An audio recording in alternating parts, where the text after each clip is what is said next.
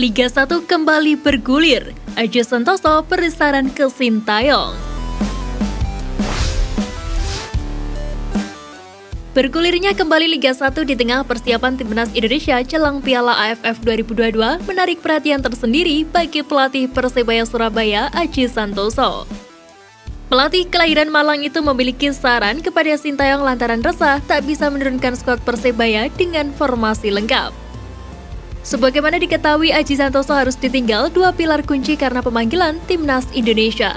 Kedua pemain Persibaya tersebut adalah Marcelino Ferdinand dan Rizky Rido. Bertekad memperbaiki posisi klasmen, Aji Santoso menyebut Persibaya baru sekali tampil dengan kekuatan penuh, tepatnya saat bertamu ke markas Arema FC. Sementara itu, Marcelino Ferdinand dan Rizky Rido dipastikan tidak memperkuat Persibaya hingga putaran pertama Liga 1 berakhir. Sebab Piala AFF 2022 sendiri baru akan digelar 14 hari ke depan, tepatnya pada Jumat 23 Desember 2022. Mengingat turnamen tersebut masih cukup lama, Aji Santoso menyarankan agar Marcelino dan Rido serta pemain timnas lainnya dipulangkan terlebih dahulu.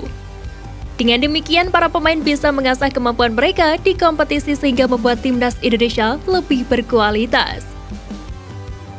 Dengan kehadiran pemain-pemain timnas, kompetisi akan lebih berkualitas. Begitu pula dengan tim nasional.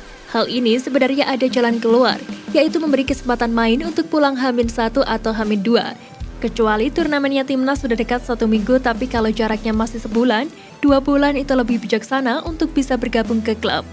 Kata Aji Santoso.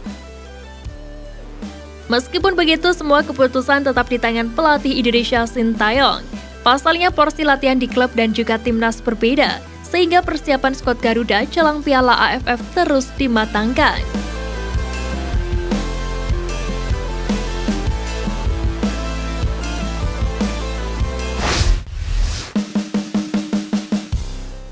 Mencetak gol terbanyak timnas Indonesia di Piala AFF.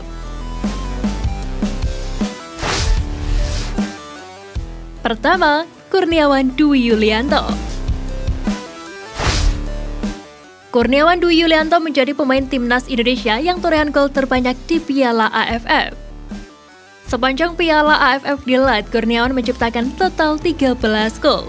Gol-gol tersebut dicetaknya pada Piala AFF 1996, 1998, 2000, dan 2004. Pada gelaran perdana Piala AFF 1996, Kurniawan mampu mencetak 4 gol, Sementara pada edisi 1998, Kurniawan hanya mampu mencetak satu gol, tepatnya di perebutan tempat ketiga melawan Thailand. Pada Piala AFF 2000, Kurniawan memperbaiki catatan golnya. Ia sukses mencetak tiga gol yang semua dia ciptakan di babak grup. Sedangkan di ajang Piala AFF 2004, Kurniawan mampu menciptakan gol lebih banyak, yakni 5 gol.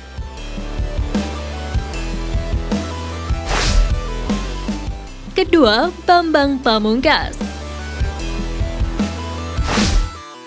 Pemain yang akrab di Sapa PP itu mencetak total 12 gol selama ajang Piala AFF. Gol tersebut diciptakannya pada Piala AFF 2002, 2008, serta 2010. Pada Piala AFF 2022, PP bahkan menjadi top skor dengan torehan 8 gol hingga akhir turnamen. Cetakan gol Bambang Pamungkas terus impresif di Piala AFF selanjutnya, hingga terakhir menjadi ikonik di Piala AFF 2010.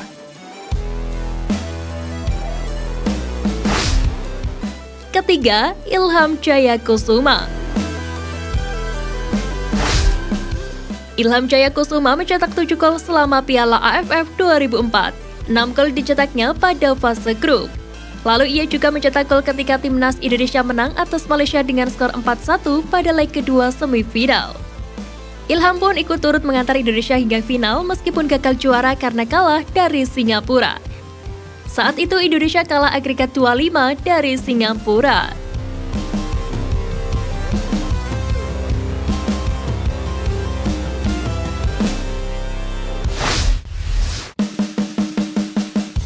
Fokus TC bersama timnas Indonesia, Jordi Amat dapat dukungan dari negeri jiran.